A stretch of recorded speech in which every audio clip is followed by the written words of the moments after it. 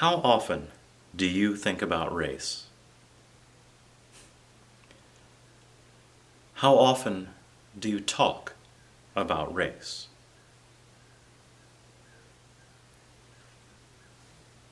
How often are you asked to talk about race?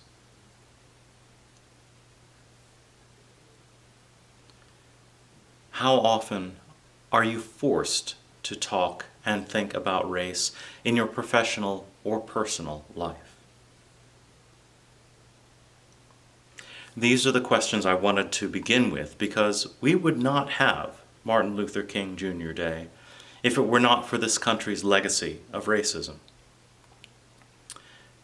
It's sad but true that for many of my white colleagues, this is the only time when they will talk about race from the pulpit.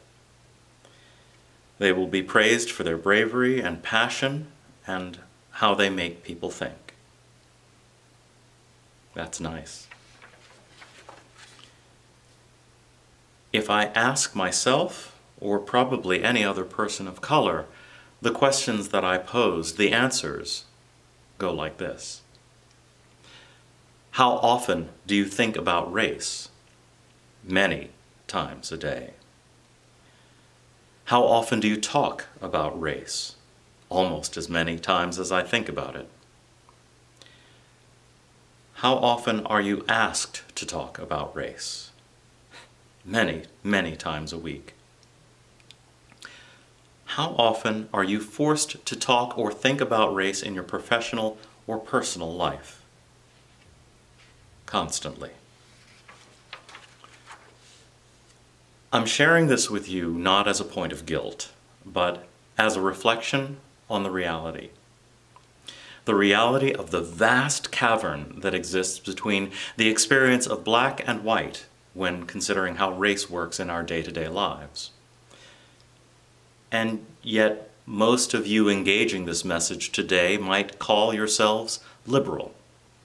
Good liberals, even. Liberal.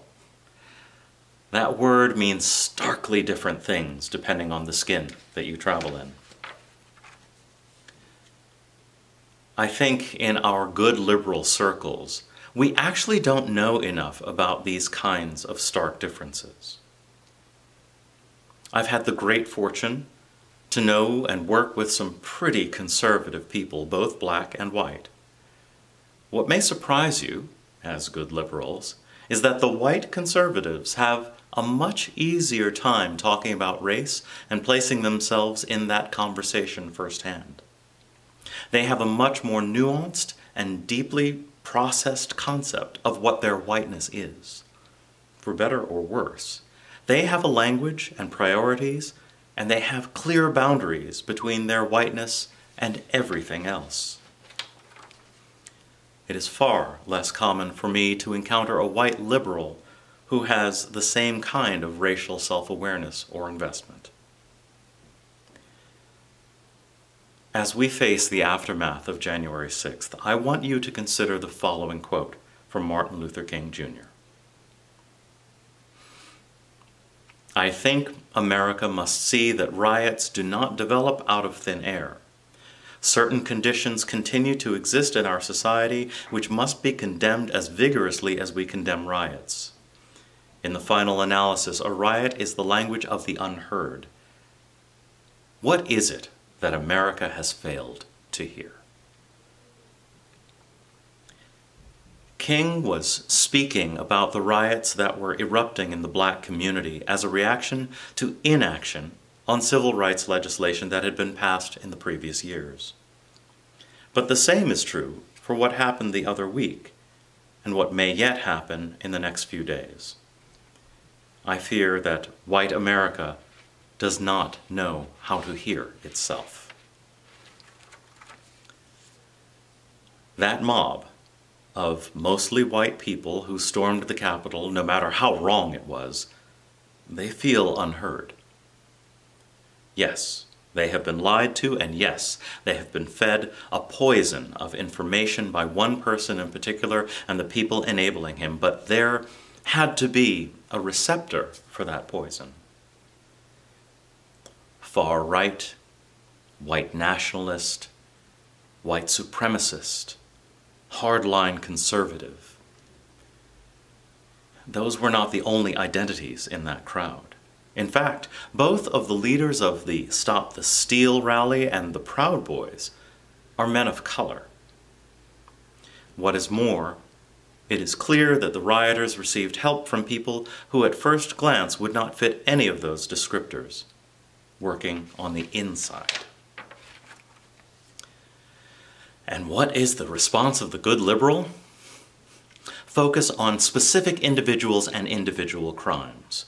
Focus on the rule of law. Focus on the one individual who whipped up the crowd and had the biggest megaphone. Focus away from systems of limited access, exclusive privilege, and selective non-accountability. And this response is as much of a failure as the overall crime itself. I fear that these next words from Martin Luther King Jr. are still applicable. Whites, it must frankly be said, are not putting in a similar mass effort to re-educate themselves out of their racial ignorance. It is an aspect of their sense of superiority that the white people of America believe they have so little to learn. From my vantage point, what we witnessed and what we will continue to witness is a massive failure of understanding cultural whiteness. The whiteness that believes it has a right to storm the Capitol, the whiteness that let people do reconnaissance beforehand, the whiteness that looks to pin this primarily on one person, the whiteness that refuses to sign the anti-lynching bill into law because it threatens personal liberty, the whiteness that points at all of these failures and says, but it wasn't me. more and more, I'm coming to the conclusion that white supremacy has less to do with race hatred and more to do with protecting a very specific brand of individuality that people of color have limited or no access to. White supremacy is captured best in the way that if one is white, you usually only have to answer to your individual self. Your success belongs to you as an individual. Likewise, your crimes and failings only belong to you. Yet, if you are a person of color and specifically black, you are asked to answer for all black people. Unless you carry certain trappings of whiteness that grant you limited access to the inner circle, Ivy League, wealth, celebrity. Even then, however, your black skin and features, your black embodiment keeps you out, keeps you out of the real center of power and makes you a target. The equation is brutal but dead simple. White never has to answer for or to whiteness itself, while non-white always has to answer to it.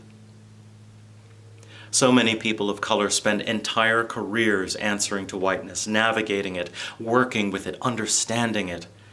We are PhDs in cultural whiteness along with our POC identities. I'm sharing this today not as some random screed.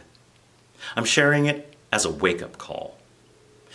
If you are a person of color, I hope that I've put to voice or captured some of what you may be thinking but maybe haven't had the platform or the opportunity to share.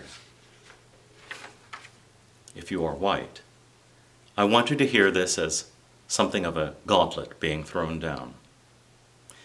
I refuse to tolerate a lack of introspection, accountability, or self-exploration of whiteness from my white siblings on this planet. Being white is as complex and diverse as being a person of color, and contrary to the way it works in our society, it has never been and cannot be passed off as being invisible. I, we, all need you to own that. People of color cannot dismantle white supremacy. But then neither can white people if you aren't willing to own it in some way, good and bad. It will never end if you're not willing to figure out what needs to change, or worse, if you always need people of color to point you in the right direction. One of the reasons I went into ministry is that I sincerely believe that faith organizations and people centered around ethical and moral life can make a difference. And so, I'm calling on Unitarian Universalism in this moment to make that difference. I want Unitarian Universalism to lead a spiritual movement to unapologetically explore whiteness. I'm asking that the Unitarian Universalist Association, my own professional organization, the UUMA, all of the other professional organizations, and all of the congregations of the association come together to work toward cultivating places and ways to understand what could be a non-toxic whiteness.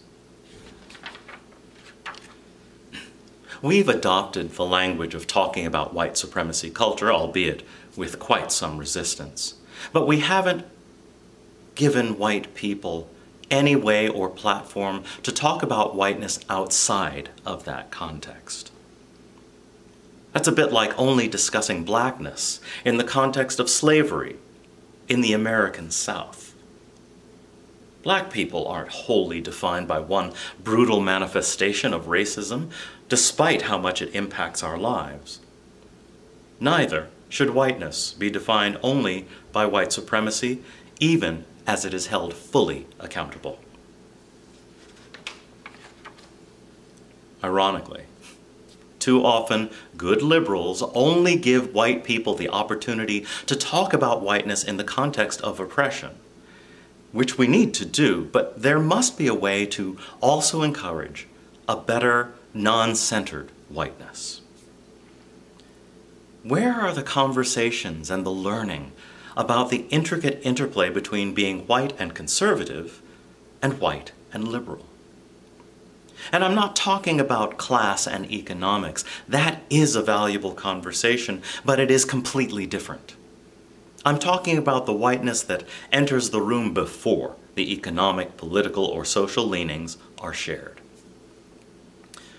If the Unitarian Universalist movement is actually committed to seeing an equitable world, understanding whiteness must mean more than the absence of oppression and white supremacy. But that is not my job. I am immersed in my blackness. I am intimate with it so that it is a part of me, obvious wherever I go. And it is a beautiful thing. The ways in which I challenge the black church on sexuality and inclusion, even as it was the foundation for my early life. My commitment to understanding my genetic roots in Africa outside of the context of European colonialism while also recognizing and respecting the fact that I am not African. Black music, art, writing, science, law, politics, theology, and more People like Miles Davis, James Baldwin, Ella Fitzgerald, Louis Armstrong, Nat King Cole, Inga Hardison, Geoffrey Holder, Carmen de Lavallade, Langston Hughes, Audre Lorde, Toni Morrison, Anthony Pinn, Reverend Kelly Brown Douglas, Nell Irvin Painter, John Lewis, Cory Booker, Kamala Harris, Cori Bush, Mondaire Jones, and Richie Torres. I know these people, I know their work, because they resonate with my blackness as inspiration. I know them outside of whiteness.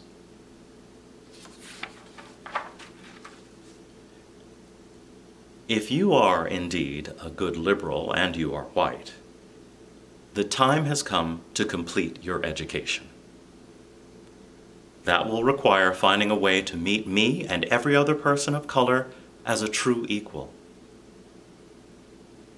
We are not perfect or monolith, but we understand ourselves. We know ourselves.